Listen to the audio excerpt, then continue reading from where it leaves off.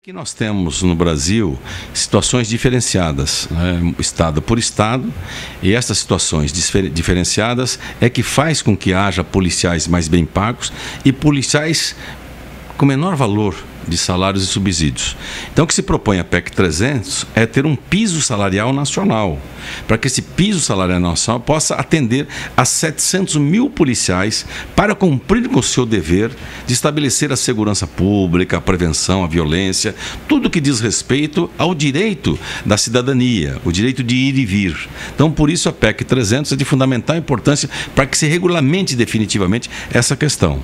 Hoje, o Brasil experimenta altos altos índices de criminalidade, homicídio está entre os países com maior número no mundo, né? e o último balanço divulgado agora mostra que, nós, que cresceu de 1980 para cá, cresceu o número de homicídios. Ou seja, a própria polícia não está conseguindo é, dar vazão e, e sentimento de preparação, prevenção e combate ao crime.